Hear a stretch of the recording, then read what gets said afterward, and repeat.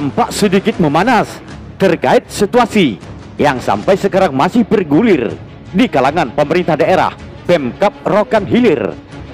Pasalnya, sejumlah besar keluhan masyarakat masih berkaitan dengan sederetan tunda bayar yang diduga sampai sekarang tak berujung pada penyelesaian. Sebab pada sebelumnya dana yang dikabarkan telah masuk ke rekening Badan Usaha Milik Daerah atau BUMD yang bernilai cukup fantastis hingga mencapai 488 miliar rupiah. Menanggapi persoalan tersebut sejumlah organisasi wartawan serta LSM meminta kepada pihak DPRD Rokan Hilir agar bisa memberikan ruang untuk audiensi terkait pembahasan tentang dana bagi hasil atau DBH yang masuk ke badan usaha milik daerah.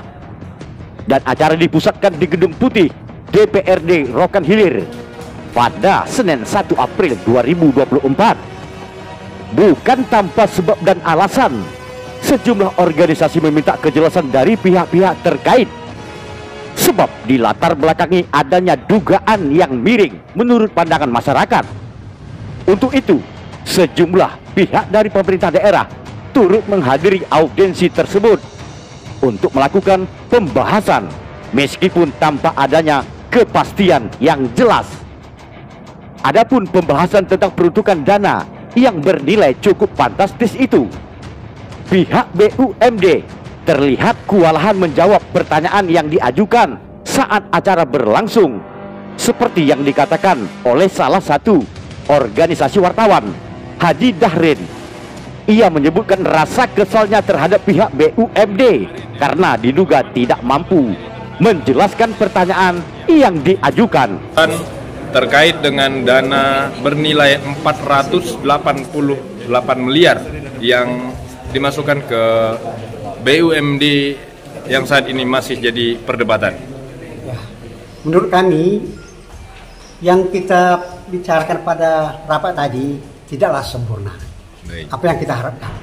Yang kita harapkan yang kebenarannya. Yeah. Uang yang kebenaran itu ke mana?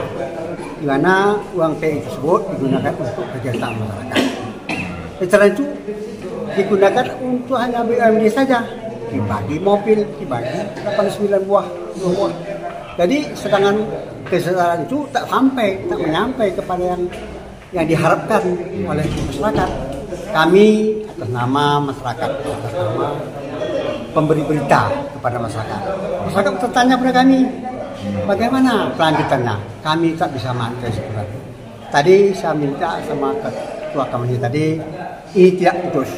Kami minta ulang lagi yang mengharapkan saya nanti kita kita jawab lagi itulah uh, yang kami hasil yang dapat kita ceritakan uh, pada rapat ini Baik. rapat yang kita bicaranya tidaklah sempurna apa yang kita harapkan menurut pandangan bapak sendiri apa yang membuat bapak uh, sehingga beranggapan ada yang janggal terhadap penggunaan dana DBH yang bernilai ratusan miliar itu dana DBH itu tidak bisa dimanfaatkan.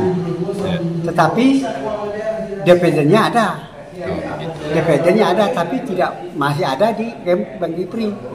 Kalau bisnis berbisnis, kan bank, bank lain saja. Mengapa Bank Dipri? Mandiri, mengapa itu lebih besar. Kalau bisnis ke bisnis, tapi ini untuk kebutuhan masyarakat. Maunya tidak begini. Seharusnya kalau independen independen dividen dividen dividen ya sempurna lah berapa di dividen berapa dividennya berapa tahun berapa bulan jadi yang tadi hanya sementara sementara sementara. Kapan sebenarnya kapan masa habisnya? Kita tahu. Jadi tadi saya saya tidaklah sempurna. Jadi kami minta ulang lagi pada jadwal keduanya. Jadi anggota dewan nampaknya uh, apa merespon ada yang keluar ini. ini. Hermanto dan rekan-rekan lainnya yang juga merupakan salah satu dari organisasi wartawan. Dalam pandangannya, ia menilai bahwa pihak BUMD tak bisa menjelaskan terhadap penggunaan dana bagi hasil tersebut secara pasti. Ya, ya kita tidak maksudnya gini, maksudnya mau mengarah ke situ. Angka 488 dari pihak BRK tidak mau menyebutkan berapa jumlah duit yang dideposit. Apakah dalam bentuk giro, apakah dalam bentuk tabungan. Ketika didesak berapa jumlah duit yang ada di dia tidak mampu menjawab dengan alasan ini diserahkan kepada nasabah. Nah, menjadi masalah nasabah. Nasabah ini pribadi atau atas nama perusahaan? Ya, kan? Artinya pihak BRK belum masih terkesan tertutup. Tertutup. Beberapa dari pihak baik pihak DPRD itu sendiri dari pihak kita dari gabungan wartawan siber menanyakan tetap dia mengelak. Jadi dengan alasan alasan rahasia. Ya dengan alasan rahasia padahal duit itu adalah duit hasil pembagian dari hulu rokan. Ya. Iya kan? Artinya Pak audiensi hari itu kita kan beberapa ada dengan beberapa teman sudah menelepon Bank Mandiri. Bank Mandiri itu kalau ngasih dividen 30 miliar itu satu bulan 150 juta. Itu sudah kita telepon Bank Mandiri itu. Sementara di Bank Riau cuman 38 miliar selama 6 bulan cuma dapat 19 juta. Nah, jauh enggak tuh?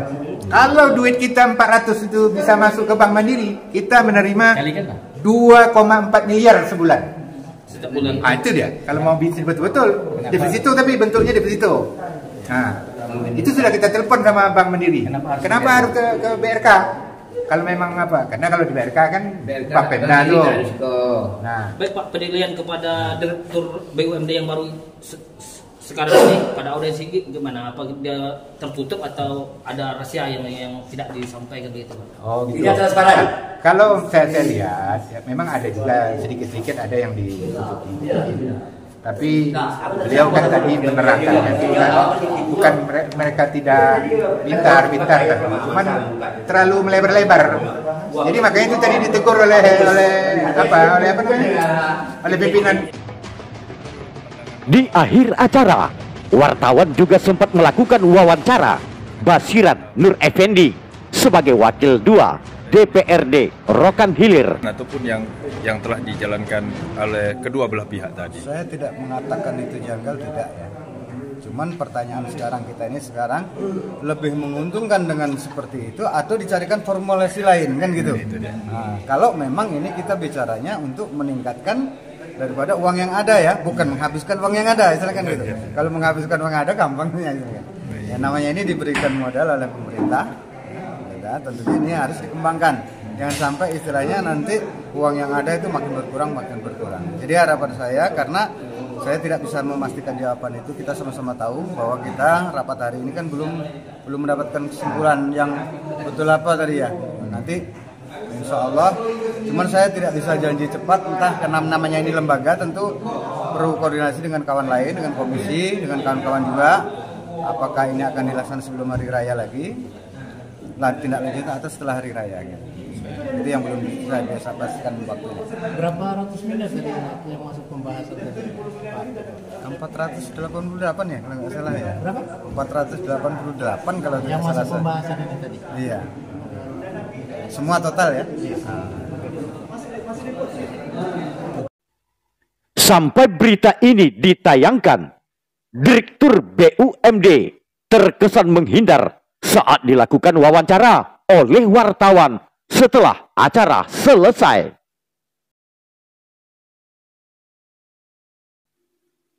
Dari Rokan Hilir Riau, Handoko, Metro Terkini melaporkan.